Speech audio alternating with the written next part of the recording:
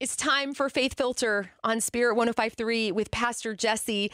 And I so appreciate you being here on such short notice. How's your Monday going so far? It's full. It's a full Monday, but we're ready for action. We're prayed up and diving into it. I'm so glad. I'll tell you, I'm sure you felt the same Saturday morning when you got the news that Israel was at war. It's heartbreaking what's happening and what has happened. Pastor Jesse, what does Israel mean to our Lord? Why is it so important to him? Israel plays such a prominent role in the Bible and today as well. You think of God choosing Israel, Israel being a nation to bless all nations, and then God's faithful covenant and promises to Israel, which he still keeps. He says he is the God of Abraham, Isaac, and Jacob.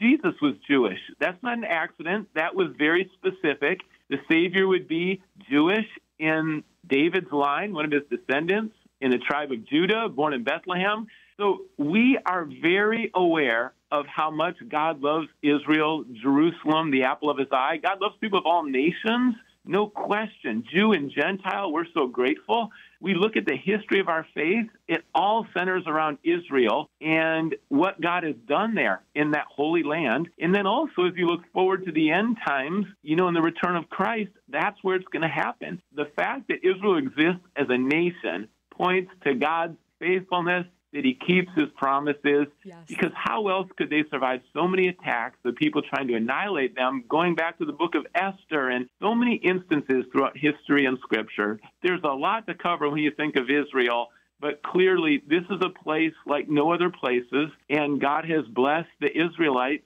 in ways that are just very special and unique. Wow. And you just said something that really touches me deeply that phrase that the Israelites, the Jewish people, those of us who love the Lord, we're the apple of his eye. What does that mean, Pastor Jesse? That's right. When you look at your own children and you love your children, there's a look in your eye that's just different. There's a connection there. And this is a covenant relationship.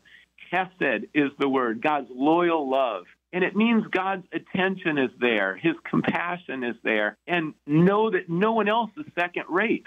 So we are God's daughters and we're God's sons and we're in God's family. Not second rate if you're Gentile. God loves Jew and Gentile. And yet you don't want to diminish the relationship, the history, and that closeness and that connection with the Israelites. And God made some bold statements in the Bible, like, I'm going to bless those uh, who bless you. I'm going to curse those who curse you.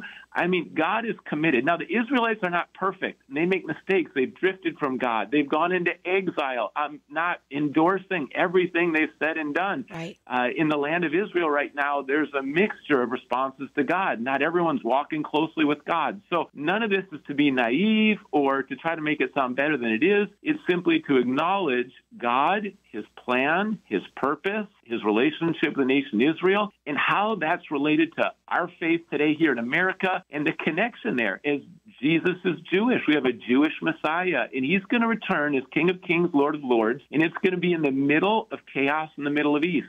And as you get closer to Christ's return, things don't get calmer in the Middle East. And so when there's an uprising and there's war, we need to pray. We should be on our knees about what's happening. And the Bible says, pray for the peace of Jerusalem. Amen. And to look up something Jesus said that really just hits my heart right because our redemption draws nigh. That's right. And know the signs of the times. He says, you understand the weather, but you know the signs of the times. And in Matthew chapter 24, that's an important chapter about what's happening the closer we get to Christ's return. And there's wars, there's rumors of wars, and all of these are the beginning. Kind of like a, a pregnant woman, you're going to see you're going to notice visibly her stomach's growing. There's yes. a little one in the womb, but then there's going to be contractions, like all of these getting closer to that deliverance. And ultimately, the Bible tells us there's going to be a new heaven and a new earth. There's a deliverer, Jesus Christ, not coming as a main, in a manger, but coming as the King of Kings and Lord of Lords. There's even a final battle, and it's good to know the Book of Revelation. It's good to know to know what's yet to come, but you can know that Christ is in control, that He has the final say. The best place to be is close to Jesus. The story couldn't end any better.